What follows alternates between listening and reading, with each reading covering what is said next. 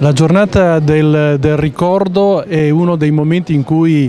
il nostro Paese eh, ha il coraggio di affrontare l'oblio e per certi versi questo negazionismo che per lunghi anni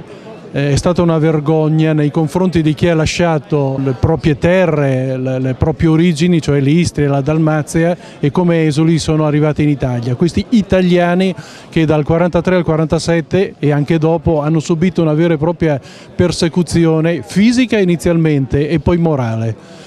La giornata del ricordo ci deve quindi eh, far pensare e rimanere vigili a fronte di fatti che eh, non possono essere semplicemente accantonati, debbono essere visti, debbono, si deve avere il coraggio di eh, ammettere che errori e che scempiaggini sono state compiute e eh, alla fine proprio a fronte di questi errori essere vigili anche ai giorni nostri dove così i segnali di allarme eh, verso ideologie eh, di questo tipo verso l'ideologia dell'odio non, eh, non, non cessano, ci vengono dati ogni giorno e quindi soprattutto i nostri giovani devono far tesoro di quello che è accaduto per far fronte alle tentazioni che di giorno in giorno ci vengono proposte.